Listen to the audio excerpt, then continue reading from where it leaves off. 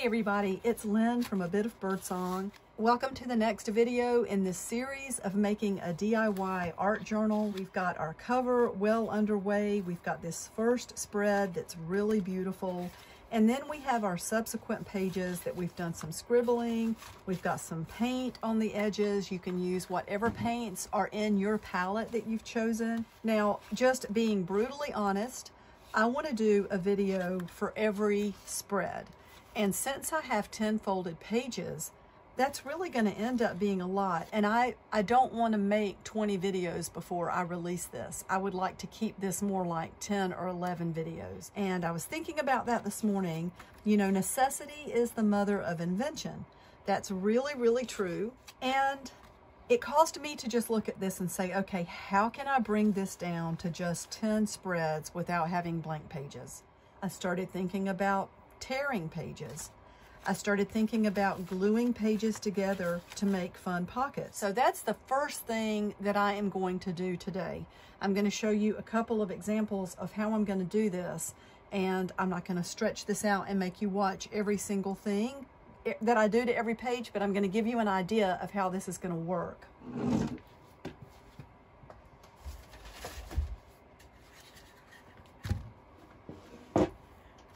Have somewhat of a straight edge here. Somebody turned this into a little shelf. I, I think I paid about a dollar for this, uh, but I can't find my other ruler. I actually think it's at, at my desk inside the house. But we're gonna use this to do a few things. Probably the most prudent thing would be to go through first and look at the sizes of the pages. To me, this page would be a really good one because it's shorter than this bigger page to tear a little bit out, make like a semicircle here, and then run a strip of glue down each side and just lay that down flat. So that instantly cuts down on the number of spreads. I'm gonna put some paper clips on this so it stays in place. And these are some rusty paper clips. Hopefully they will make some marks on the pages that are really cool. But this is going to give us a couple of things. This is going to give us a pocket. It's going to give us a textured page. It's going to lend some bulk to this little journal, but it's going to cut down on the number of spreads we have to do.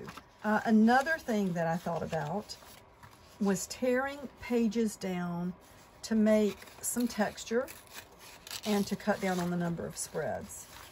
So I'm gonna tear this little part out of the bottom so that the page we're gluing down is not taller than this page that's gonna be showing. I'm gonna tear a little bit off the top. And I'm gonna go ahead and tear this strip so that we can glue this little piece down and that's going to dry. We're also going to save all these little pieces of paper that we're tearing out and that we've cut out and we have the paper behind us that's getting all grungy and covered with paint that's going to be incorporated right back into this journal. We've got our first spread, so this is going to make a second one. This makes a third one. You know, even though this little, I love this curly cue. So let me tell you what I'm going to do. I'm going to tear off this corner.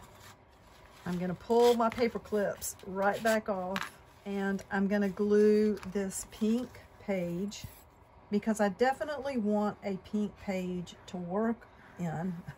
I don't want to tear this one out completely.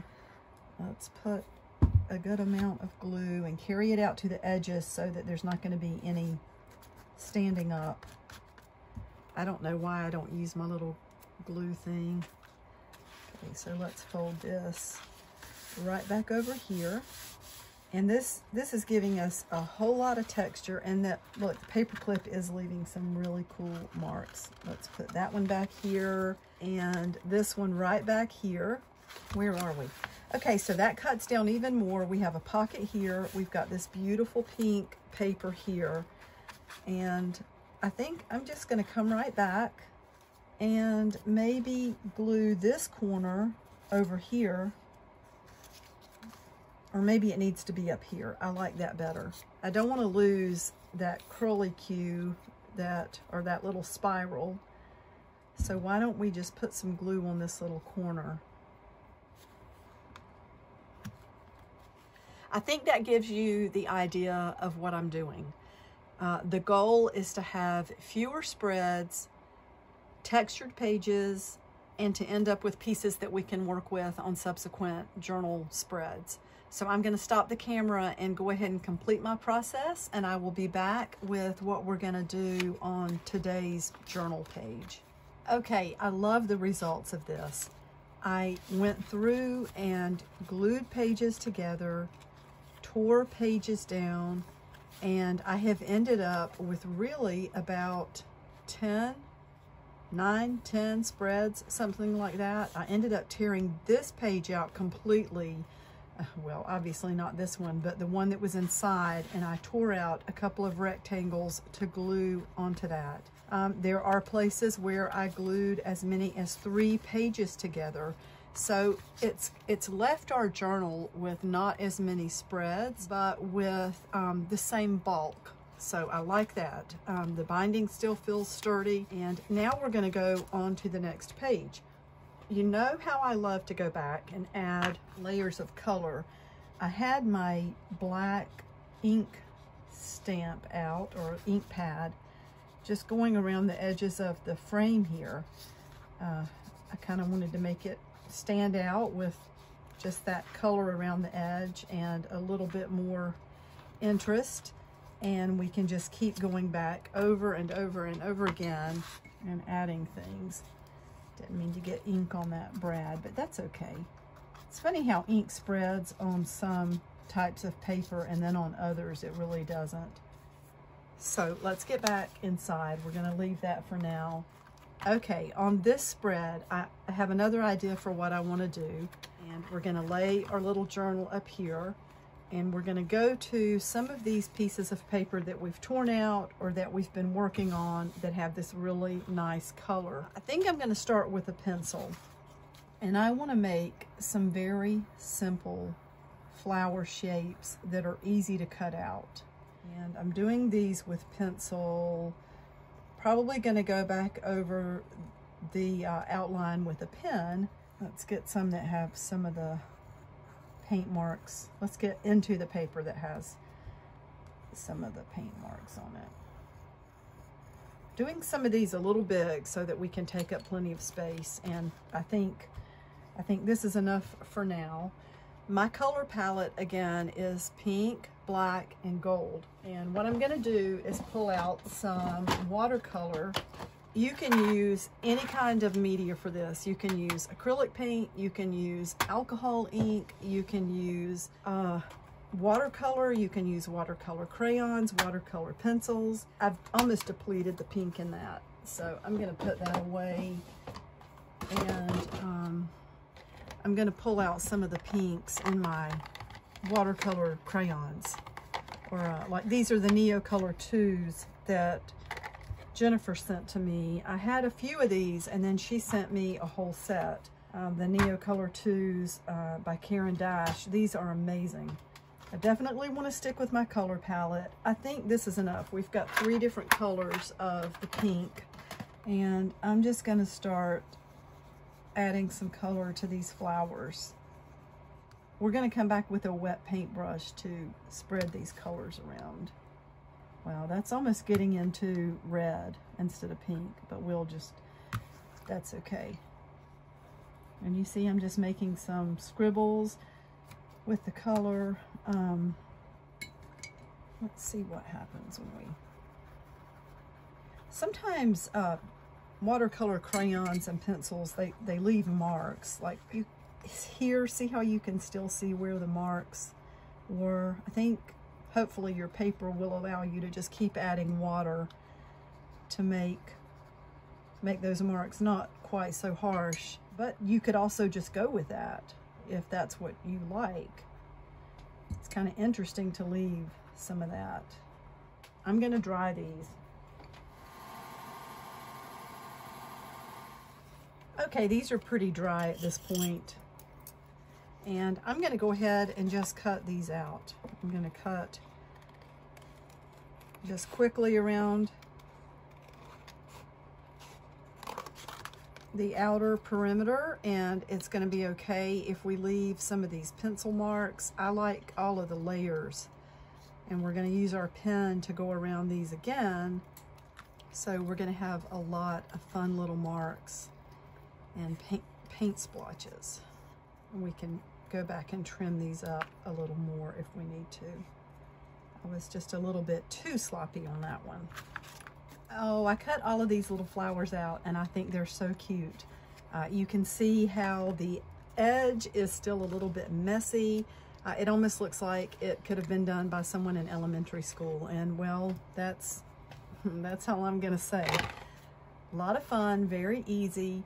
I've been trying to decide which one of these images I want to use on this second full spread in the journal. We're going to be gluing these flowers onto the page um, and we're going to add the word bloom. And that uh, is a word that's on the sheet that you can print out for this project, or you could choose to stamp that or write it however you want to do it. I really, really like this picture with this black background here.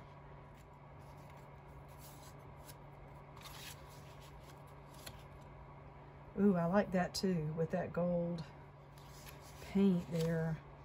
We could add a couple more pieces behind her.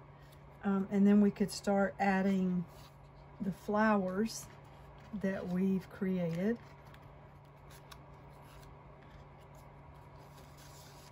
We might change them up a tiny bit.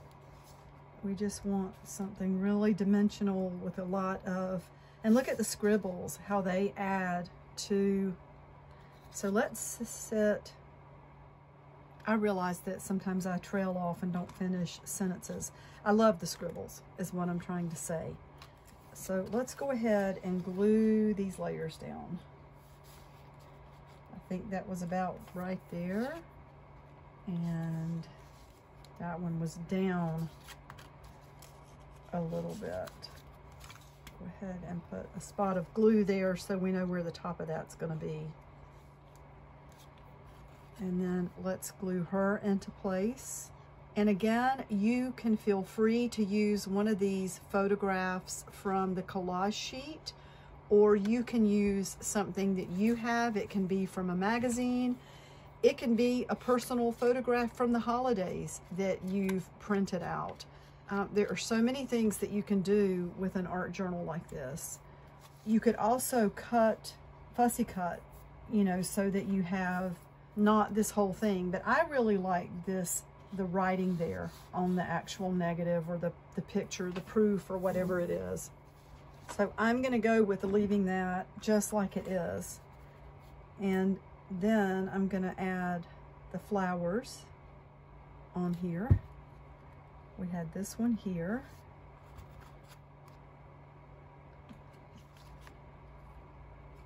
Let's put this one up here. And then we want the word bloom, or you could change that if there's something that you feel is better suited to your journal spread.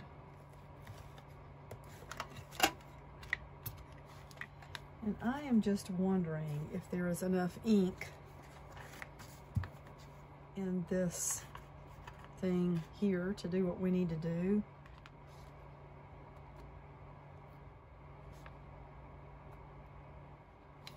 Let's try this one. Yeah, that's got more.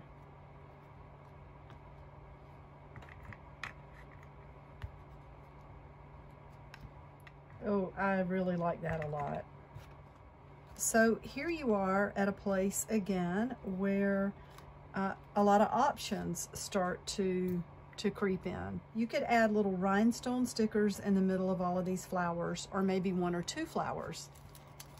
Jason and I bought a package of these when we were at Hobby Lobby, and we're hardly ever at Hobby Lobby. We just passed by one not too long ago, and I said, oh, this is where Hobby Lobby is. And he pulled in and took me in there. So here's what I'm going to do. I'm going to use a couple of these stickers if I can get this to stay. So let's put one, oops, two came off, okay. So maybe I'll use three. And then for the other two, I think I'm gonna put little tiny dots of gold paint. Oh, goodness. So now we have gold paint that we're gonna have to use up. So I'm gonna put gold paint in the center of these. This is gold acrylic paint. We'll kind of use up what we have. I think I'll put some at the bottom of this page where it overlaps with the next page just to define that a little bit. I might go ahead and add some more at the top and bottom of this page. I'm not going to close this because I know I tend to mess things up like that. But I have been thinking about this little house sticking up. And I'm going to come back and put a little bit of gold paint on that corner. I don't know if you can see that. I actually probably got too much on there. And now we're ending up with this gold paint. Let's put some on this page. This is a fun little piece of paper. Maybe we can end up with some on that. I did mention coming back with this pen so we can kind of go around the edge of these if we want to. You can use any kind of pen or pencil you want to, and you don't even have to do this part.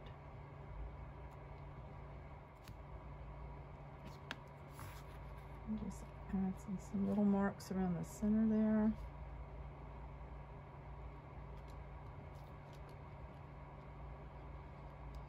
As far as adding more color to this page,